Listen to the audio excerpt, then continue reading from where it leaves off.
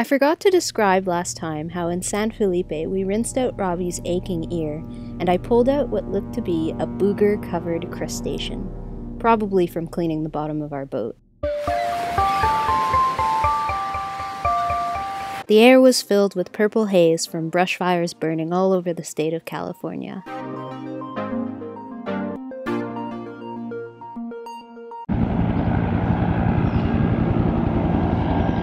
Even Sausalito had some fires burning above the town at one point. A helicopter quickly swooped in to dump seawater and stop the blaze.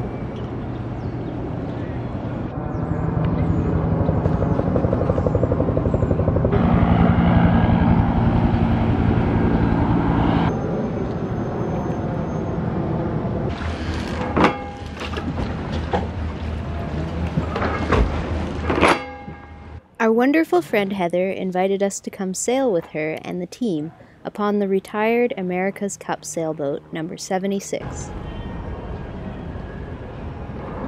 I'm a little bit out of my element actually. It's crazy. Everything is very, very different. It's similar but different from what other racing boats have been on.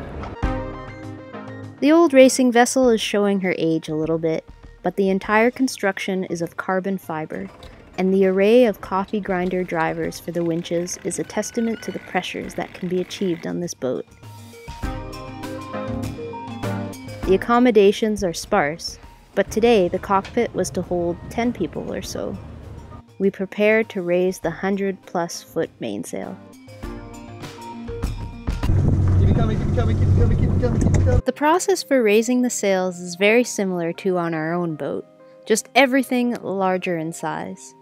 We make sure that the main halyard and clew are attached properly to the mainsail.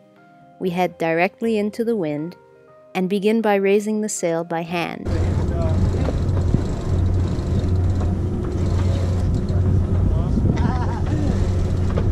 Then eventually we wrap the main halyard around the winch and crank up those last couple of remaining feet.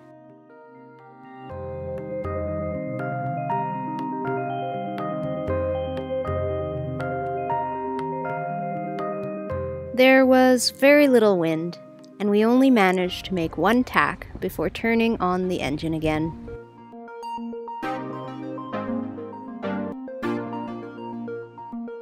On my way, I never used the winches. I was about to take them out. Yeah. We're motoring an America's Cup boat. That's great. Many visitors who come to San Francisco long to dip in under the Golden Gate Bridge so that's where we were headed.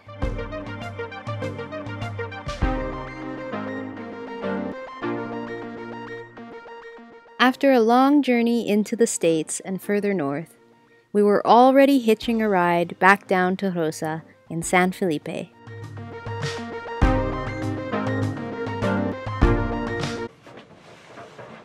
It was good to be home and to see the inside of our little boat, which was so familiar to us now we went straight to work installing some new gear. We had to tie some round slides onto the spare mainsail that we had picked up some time ago. So we're gonna see how this free sail works tomorrow.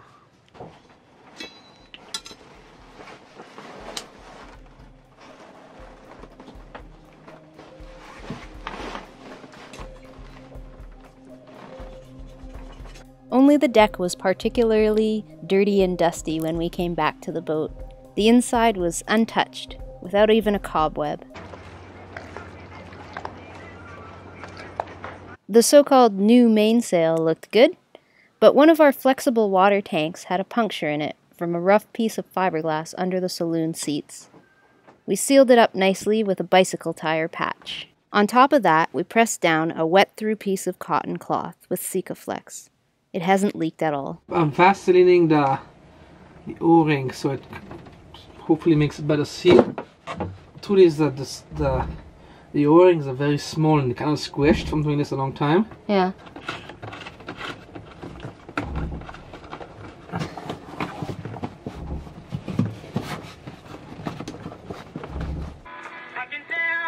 We brought back with us lots of Spectra line for splicing into new lifelines.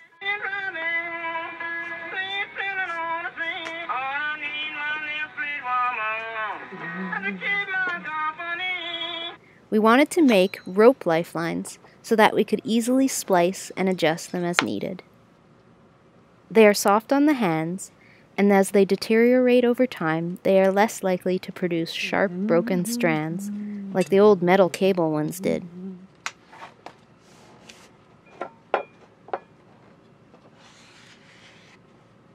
Hmm. I'm gonna take them all tomorrow out and give them a good stretch.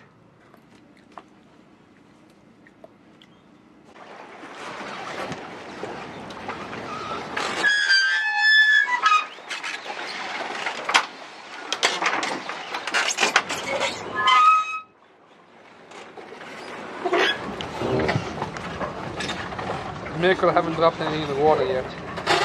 Final installation, and the dock seemed to come apart in anticipation of our leaving.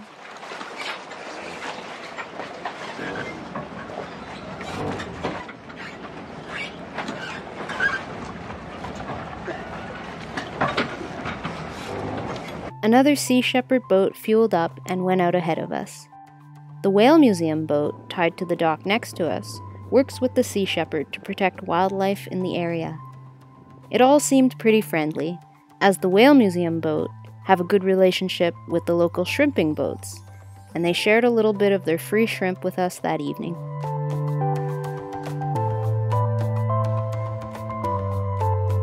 Our drawer is about 90% knives and sharpening stones. It seems like we seem to be missing all our spoons. That's the only odd thing upon our return to San Felipe. Lastly, we both got haircuts for aerodynamics. Yeah, everything's ready to go. Everything's tied down more or less. Uh, Nothing was disturbed, nothing moved. It was like we hadn't left her for more than a day. except for the spoons. Except for the spoons. We've come back with some materials. We bought a giant vat of epoxy. We got some slabs of G10 for chain plates and uh, or backing plates for uh, chain plates as well as under the compression post.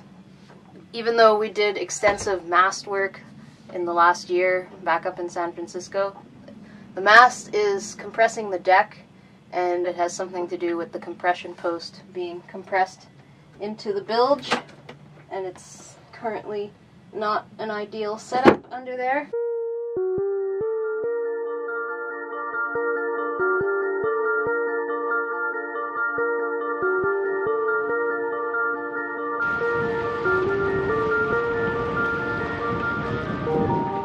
We fueled and watered up and headed out into the bumpy Sea of Cortez.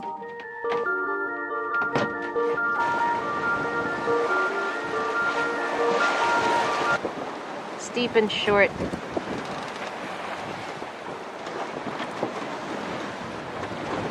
Our favorite. Mm, yep.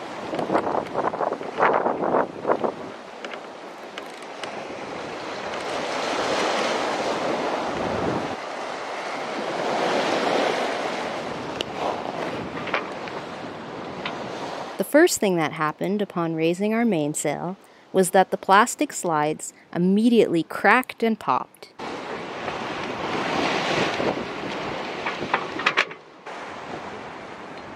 We made our way under only our forward sail to Bahia Willard. Because of the short winter days now, we sketchily entered the anchorage at night and determined that we should take a better look from the air during the daylight. During our time away from the boat, we managed to acquire a DJI Spark drone with a sweet little gimbaled camera, so we sent it up to take a look.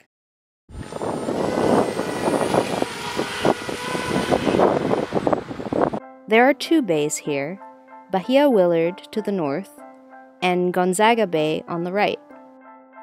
The two bays are separated by a spit of sand lined with gringo summer homes and a small landing strip. We had caught up with the Farley Moet crew who were hanging out in the deeper Gonzaga side. We're really lucky that we landed the drone when we did, as this little plane took off right after.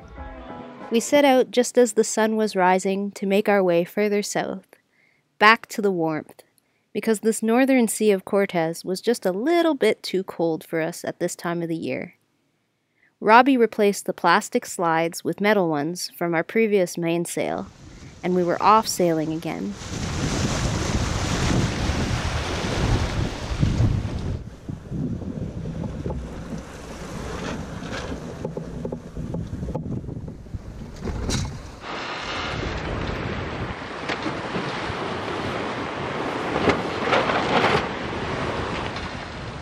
So weird, the wind from behind, but it's spread out.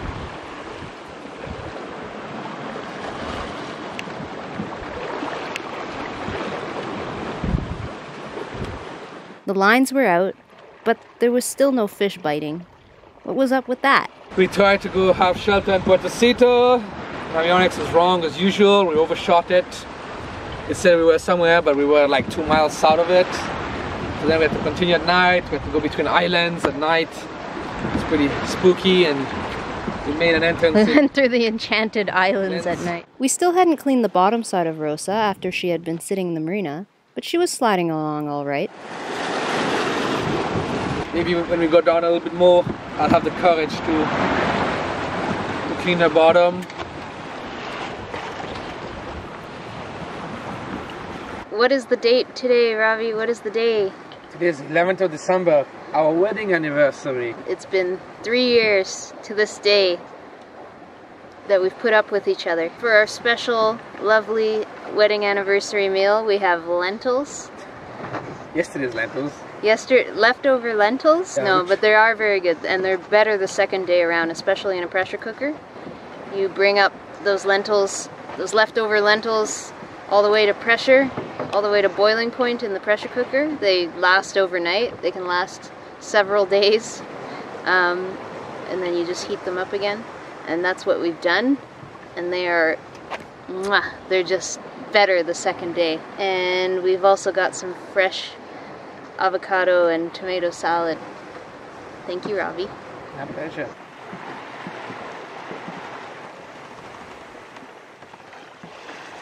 The new lifelines were looking all pretty and fancy, and they had also been doing a good job at keeping us both on deck during our bumpy ride the previous sailing night.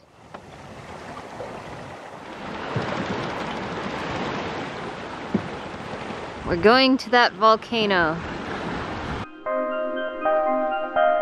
And so we kept on course to Isla Coronado, also known as Isla Smith, where we would have to anchor again in the dark.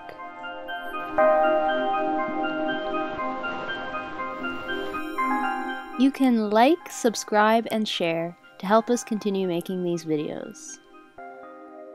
You can also contribute regularly on Patreon or send us a tip through PayPal. Thank you to our patrons.